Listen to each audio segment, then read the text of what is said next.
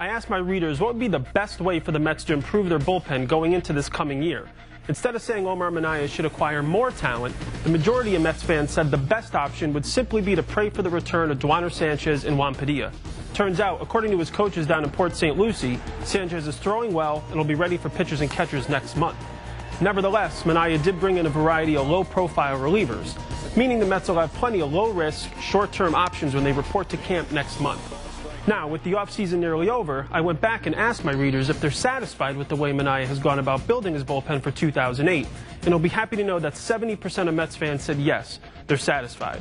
What's more encouraging, according to a recent poll at my site, MetsBlog.com, Mets fans are 75% confident in Billy Wagner's ability to save a game. So when you combine the established veteran arms along with the addition of low-risk talent, it appears that Mets fans are pretty comfortable with their bullpen, or at least we're comfortable for now.